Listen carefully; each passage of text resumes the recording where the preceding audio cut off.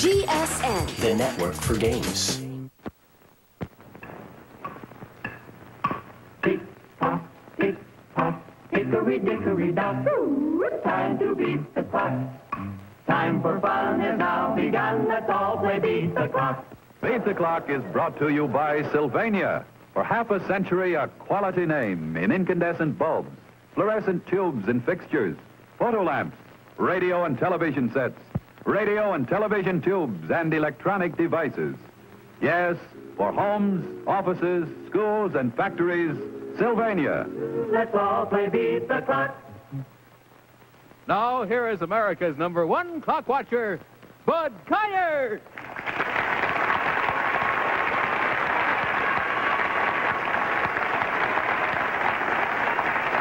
Thank you very much, ladies and gentlemen, and welcome once again to Beat the Clock, the show where you're going to have the time of your life playing against time for big-time prizes. Now, come on over and let's re-meet our two very charming contestants from last week. How are you again? Nice to see you. Clutching your name card there in your hand, are you? Let's get all the vital statistics down. It's Mr. and Mrs. Donald Morgan of Staten Island, New York. You drive a bus down, Yes, huh? sir. Yes. Don't drive at night. Drive in the daytime. In the daytime, Uh, yes. that's much better that way.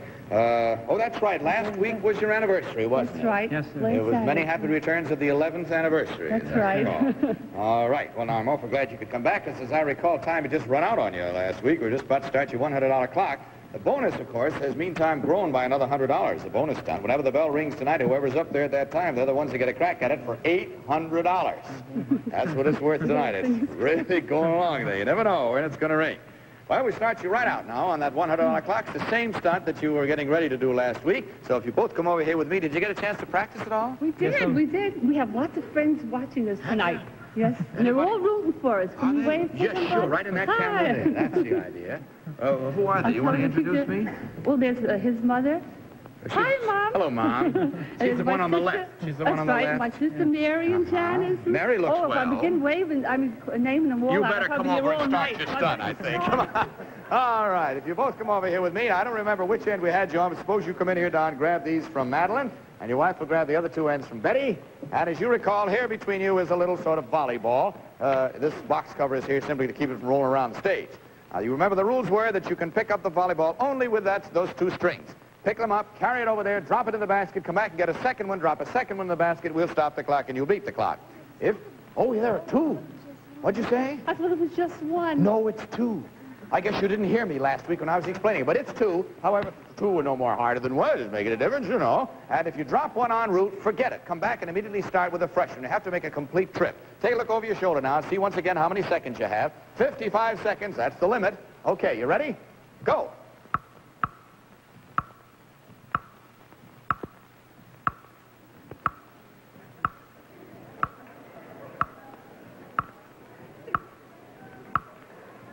There's one. Come back, another one.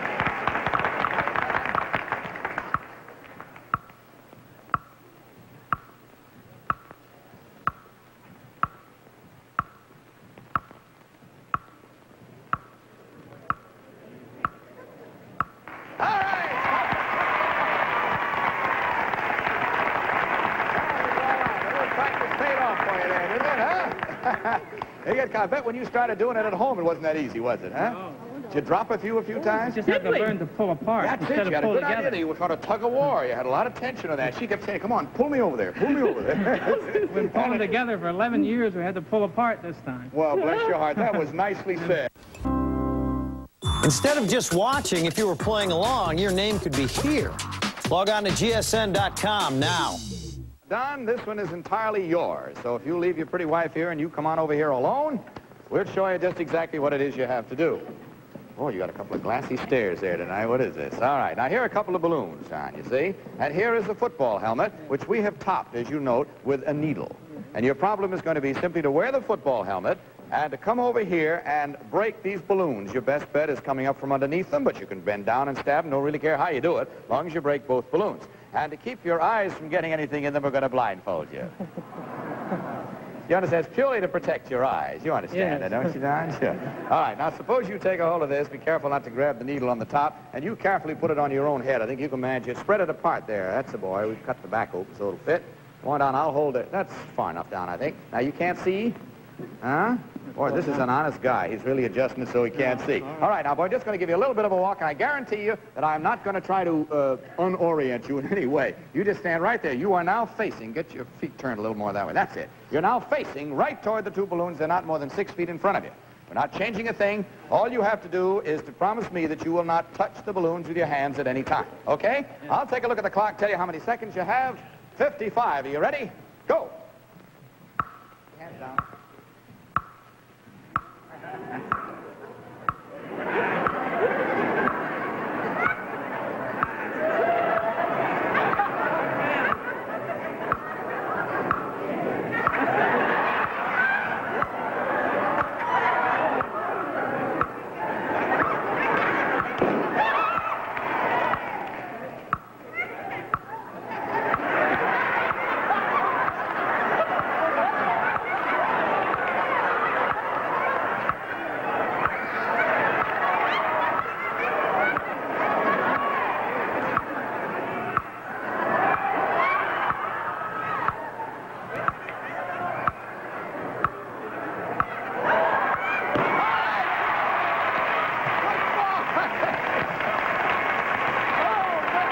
Look at that clock, fella.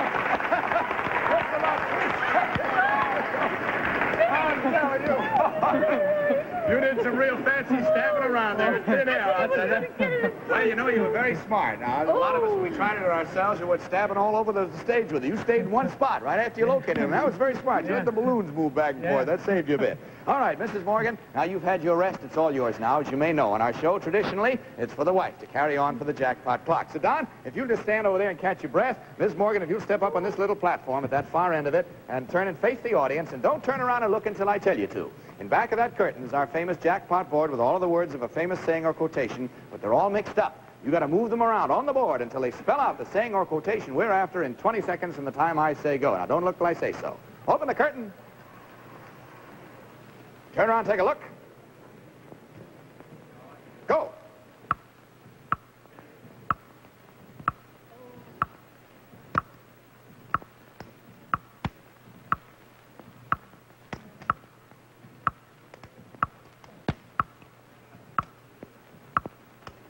Yep, we got a few seconds. Oh, no, I'm sorry. It's so close. I know you know what it was. Do you know what it was? See if you can say it, just for A fun. thing is beauty. No, here's what it is. It's a thing of beauty oh, is a joy forever. A thing of beauty is a oh. joy forever. But you've done all right. Come on back in here, Donna, Mrs. Morgan, because you've beaten our $200 clock. Let's see what you've won. A wonderful Speed Queen automatic washer. Engineered and tested to give you the highest degree of dependability and your clothes a faster, cleaner wash. In eye appeal, it is indeed America's most beautiful automatic washer. Congratulations, Mr. and Mrs. Morgan. You have just won a Beat the Clock prize worth more than $200. My congratulations.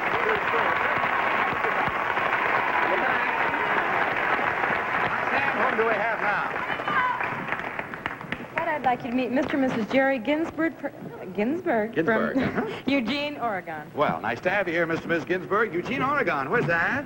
Oh, way out west. What's it near? What large Oh, place in Oregon? 121 miles south of Portland, Oregon. See? What do you do out there, Jerry? Well, uh, we just came east a few months ago, and I'm selling lumber in uh, Long Island. Have now. you transferred your job, you mean? Uh, Yes. You're going to be permanently here. Uh-huh. How do you like it here, all right? Oh, right? very much. Good I enough. used to live here. Ah, your wife has pretty red hair, hasn't she, huh? Thank you. Any children? One little boy. How old is he? 18 months. 18 months old. Bet you had a wonderful day when you welcomed him into the Oh, world. yes. didn't huh? Hey, welcome. Thanks. Incidentally, I almost forgot. Mercy me. We have uh, uh, welcome aboard tonight to a very wonderful addition to our network out there in Colorado Springs, KKTV. Joined our network two weeks ago, and we were kind of negligent not welcoming you. We're awful glad to have you with us. KKTV, Colorado Springs. Hope you enjoy having us with you as much as we enjoy having you with us. All right, now, Mr. and Mrs. Ginsburg, you have a little problem of exchange here, and as you know, all life is an exchange, one with the other, especially married life. Let's see how well you've learned your lesson. Come on over here with me, if you will. Thank you very much. Now, I'm going to put this down here on the stage, and I'm going to ask you, Miss Ginsburg, if you will, to sit on it with your feet out that way. Steady yourself with your hands on the, on the floor temporarily. Just sit on the ball and put your feet out here. That's it. Now, Jerry, I want you to sit facing your wife with your feet coming about to where my foot is here. You sit on that ball there. And move it back until when you put your feet out, you can uh, just about come where my... That's pretty good there. Oh, straighten them out, though. I want them straightened out. That's the boy. Good. Now, here's the problem. I want you each to steady yourself with your hands, if you will. Steady yourself with your hands because, no, on the floor. On the floor. Because I'm going to ask you to put one foot on top of the other. Only one foot may be touching the stage at any time. You understand? Cross them over. That's it. She's got it. Better straighten your legs out, boy. You get more purchase that way, I think. That's it. Now, you steady? Okay. Now, I'm going to put two of these uh, tennis balls in your lap. And I'm going to ask Madeline to put two in your lap, if she will, please. No, in his lap, Madeline, if you don't mind. That's it. Okay. Now, what, I, what you have to do when I say go is simply this. You will take your hands off the ground, and you may not touch the ground again through this entire stunt. And there'll be a supply of these balls next to you right here. We'll put this, these here, and we'll put those there for you. And what you do is, one at a time, you toss up uh, one of these balls over, just bounce it, see? And he catches it. So you catch it in one hand. Get the idea? And as soon as you've caught it, then you toss him another one, and he'll catch that. Then you toss her two of these one at a time by bouncing it to her. You understand the problem? And when you have exchanged two balls, in other words, when she has two of those colored rubber balls and you have two of the tennis balls, we'll stop the clock and you beat the clock. But you must not touch the floor at any time during. If you do, we stop where we are, put everything back, start all over again. See? You've got to balance yourself all the time. And I suggest that you don't try back and forth, but simply wait until he's got two, and then you pass two on back to your wife. You understand? Take a look at the clock, see how many seconds you have. 50 seconds. Now try balancing yourself before I say go so you get used to it. Get the idea now. Just kind of get yourself set there. You get yourself comfortable. This is kind of a wiggler you married here, Miss Ginsburg. You know that? She's steadier than you are. Okay, you think you can manage now? All right, put your hands down so you, can relax a little bit. Until I say go, you have 50 seconds from the time I say. Go. Hands off the floor. There's two. Now put them in your... Oh, oh, oh, oh.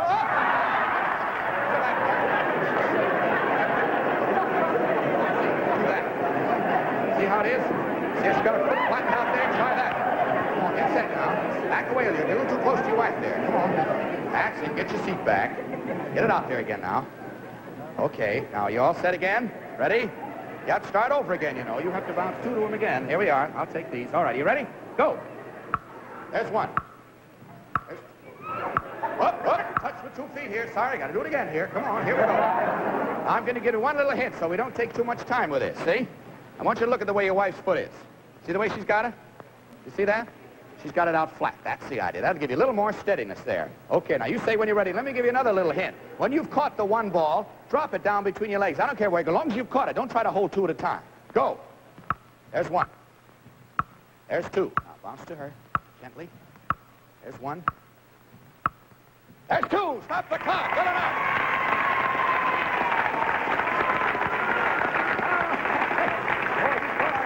hurry there, Miss. You did fine. She knew how to steady herself right off the bat. I thought sure you'd have watched that. What'd you say, Jerry? I was supposed to be the athlete. Oh, you're supposed to be the athlete. She showed you up there, didn't she? All right? That will... Hey, the bonus. You get to try the bonus stunt. You know our bonus stunt? You haven't been here, so you don't know anything about it. The bonus is worth $800 in cash tonight. That's extra. You don't lose out. You go right on to your next clock whether you win, lose, or draw this one. Come over here, Jerry, and I'll show you what it is. Yes, Mr. Ginsburg. Bring out the bonus, girls. The bonus girls? Oh, yes, there they are.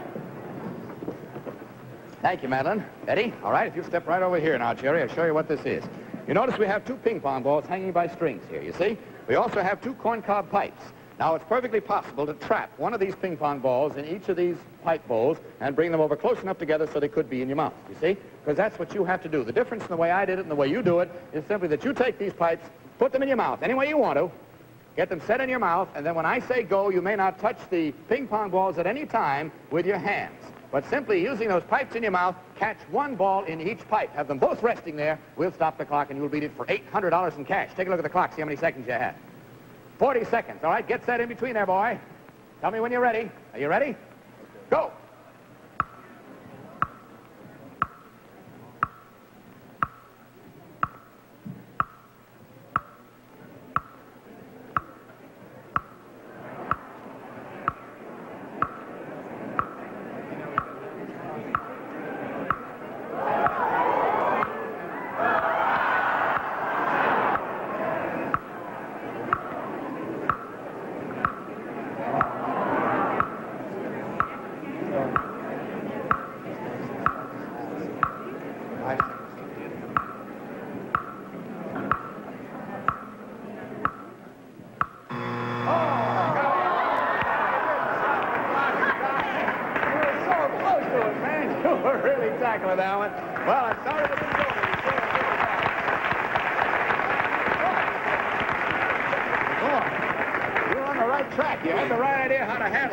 More seconds, you might have done it. Well, as I said before, it was a bonus. You've lost nothing by it. You might have gained something. You're at the $100 clock behind you now, reaching for the $200 clock. Have you ever uh, seen these movies and things of snake charmers?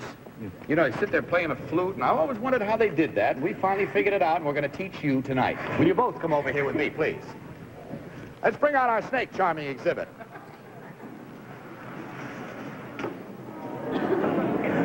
Don't be scared of the snake, girls. It's all right. Jerry, step right up there, if you will, please. The girls have a couple of galoshes for you to put on. They're uh, snake-proof, and also a little shower cap, if you'll uh, put that shower cap on. That's it. Now just step into those, uh, either one first, don't care which. That's the idea. And then the other one. That's it. And just have a seat, if you will, and put that shower cap on. Sit right on that little cushion, cross-legged, facing this basket. That's a boy, just like a snake charmer. Yeah, the boy. Now, here is the little pipe. It's a little flute, you see. It's a special snake flute. Now, I want you to, I, you watch this closely, Miss Ginsburg. I want you to play that little pipe, and you see what happens. Go ahead, play it. Keep playing. Whoa! See, we got a snake there. Now, this is a little different kind of a snake, Miss Ginsburg. I don't know if Mr. Ginsburg ought to hear this, but this snake doesn't like music. It comes up and spits in his face when he plays music. You've got to stop that. The only thing that'll stop it is it's frightened to death of balloons that break. So girls, bring out a supply of balloons, if you will, and set them right down on the stage, right there. That's it. And you stand right by them. And when I say go, you start to play. The snake will come up, start to spit. You start throwing those balloons one at a time at this little bridle thing here full of, of bristle things of, of uh, needles, you see. Break two balloons, and that snake will stop. You understand? And we'll stop the clock, and you'll beat it. Take a look, see how many seconds you have. 30 seconds to break two balloons and stop that snake. All right, boys, start playing. Go. Hold him gently, hold him gently. Lay your hand right on that.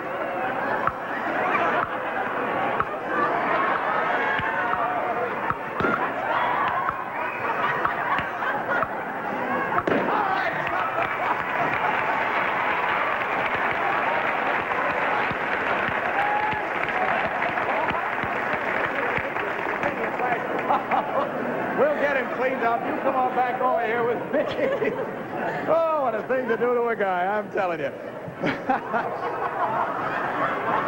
get him off there, and he'll be all cleaned up and good as gold, good as new when he's all through. Incidentally, we had a picture taken, which I hope will come out all right for you. Step right back in here where you were, if you will. And uh, you could go down anytime. Any of you folks who haven't been down to the uh, Grand Central Palace and seen that wonderful photographic exhibit down there, you ought to go down, because it's really worth your while. And when you go down, be sure you stop by and see the marvelous Sylvania display booth we have down there. We'll sure be glad to see you there and welcome you.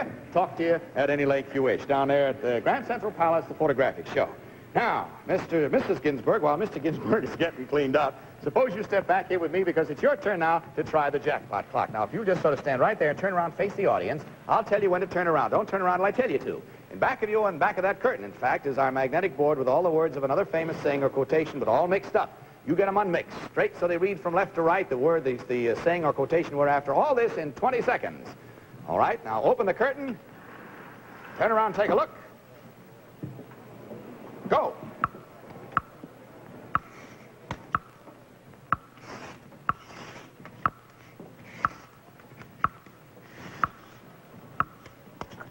All right, stop the clock. Old King Cole is a merry old soul. He's right.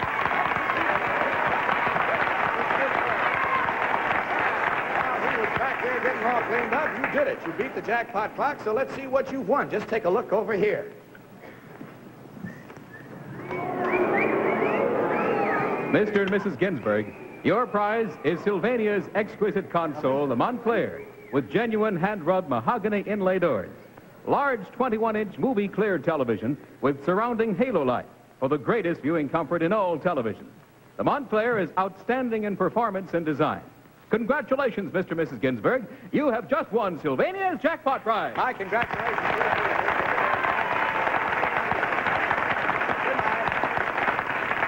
Roxanne, whom do we have now? Oh, the Navy's landed here with us. Bud, we have Mr. and Mrs. William Cover from Shelbyville, Indiana. Hello, Mr. and Miss Cover. How are you? Miss Cover, welcome to you. Bill, how are you? Fine. How long you been in the Navy? I've been in the service altogether about 11 years. In service altogether, do you mean you were in the Army or something sir. before that? How long in the Navy? I was in the Navy about five and a half years. You like it, do you? Yes, sir. Uh-huh. Where are you stationed? I'm stationed in Bellmore, Long Island. But your home is Shelbyville, Indiana. Yes, sir. Is that where you met this gal you married to? No, sir, I met her in Louisville, Kentucky. Ooh, get around these sailors, don't That's they, where huh? I'm from. Uh, now, well, now, what do you do? Do you manage to get around near where he's stationed? Yes, see, he goes for a two-year tour of duty, and I go where he goes. Well, isn't that nice? Yes, That's it's the way it very should be. Keep them together. All right, now we're going to find out what your problem is on the $100 clock in just a moment. House is promo code ACCESS. Instead of just watching, if you were playing along, your name could be here. Log on to gsn.com now. All right, now, Bill and Mrs. Cover from Shelbyville, Indiana. Suppose you both come a Cover. That could be pronounced cover, couldn't it? Yes, sir. That's kind of appropriate because of the stunt you have to do on the $100 clock. Come here and I'll show you what it is. Thank you very much, Betty. Now, if you both just come right over here and uh, right about here, that's it, and stand back to back. That's it, like that. Now, I want you to look over the side here so you can see what I have. I have here a tubular piece of jersey cloth. You see? See there? It's tubular. Now, I want you just for a trial run to take this, put it over both your heads, pull it down over yourselves until your heads come out the other end. It's open at the other end. Just pull it over your heads now, just see what happens. Just pull it right down, right down over your bodies, right down. That's the idea. Now, that's what your stunt amounts to. I'm sorry it'll muss up your hair, but that's, that's exactly what it is. All right, let's slip this one off now. Slip it back off. And since we've stretched it out a little bit, girls, bring out the other piece of cloth, will you please? We've got a fresh one for them. And you turn around and watch what happens to this cloth. All right, now back to back you go. Stay back to back. Get it started over the heads. Don't go till I tell you to. I'll take a look at the clock and tell you how many seconds you have. You have 50 seconds. Keep pulling it down over your bodies now. Don't get it stuck on your shoulders. Go.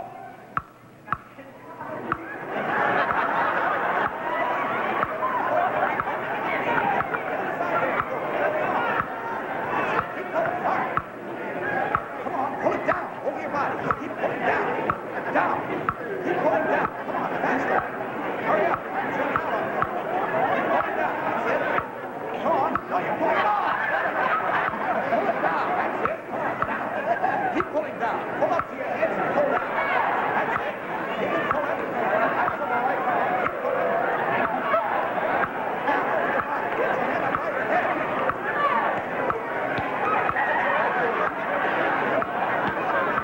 It's right here. Come on, keep pulling straight ahead here. Hurry up, you only got three seconds to go. Come on. The clock beats you. We'll have to haul you out of here. I don't think Bill knows how to get in and out of those jersey things in spite of that blouse, because you were pulling fine and he was pulling the other way against you there. But in any event, we do have for you, for being such good sports and being our guest, one of these lovely Sylvania radios. Oh, thank thank you. you very much for being with us tonight. I'm sorry you didn't see us. Good night. Roxanne, who is our next contestant? But we have Mr. and Mrs. Quint Bradley from Cambria Heights, New York. Mr. and Mrs. Quentin Bradley, B-R-A-N-D-L-I. Is Yes. that right? That's Mrs. Bradley, how are you? Fine, thank What's the occasion of the corsage? It's our third anniversary. Valentine's Yes. Day? On on the 14th? Or? Yes, the well, Isn't that wonderful? What a nice Valentine you got, boy. Thank you. Do you have any children, you two? Yes, the boy, How two years old. Two years old. Yes. Bet you're proud of him. Very proud. All right, let's waste no time now. Get right into your little problem. If you both come over here with me, I'll show you what it is on the $100 clock. That's a big one, isn't it? Huh? All right, now I want you to stand on the right of me, if you will, please, Miss Brandley, and uh, why don't you stand there? Now, this is a very large and sort of easily bumped balloon. You see, it floats all over. Now, your problem is simply this, to knock those three cups off those three tables using only the balloon. Now, the balloon has to float through the air and knock the cups off, much like that. See? Betty, would you put it up again for me? But you may not touch the balloon with your hands.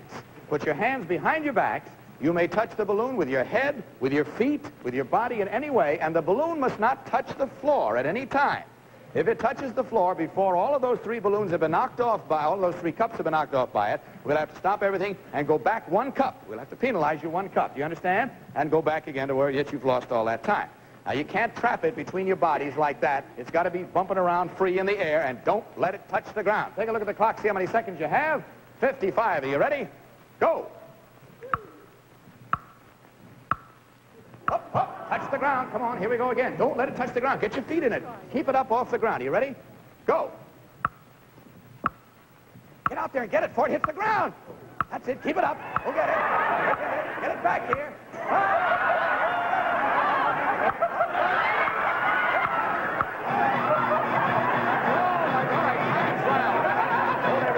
That's a sign of... What'd you say, Quinn? I thought she was going out in the audience. You know, I thought so, too. I'm sorry. We've used up all our seconds and minutes now. What about it? You can get a balloon like that and practice at home if you want it, but you'll probably wreck the joint. Can you come back next week? Yes, Good enough. We'll see you next week. It'll be our first contestants at that time. Good night for now. Ladies and gentlemen, before we leave you tonight, I would like to say that the National Conference of Christians and Jews have set aside this week as Brotherhood Week. Now, the re real purpose of setting aside as Brotherhood Week is to wipe one word out of our language in the United States, and that's prejudice. After all, this is a nation built upon all nationalities. Let's just get rid of that word prejudice, okay? Don't forget, go to church tomorrow, too. And until next week at the same time, this is Bud Collyer speaking for Sylvania, hoping that next time may be your time to beat the clock. Good night, everybody.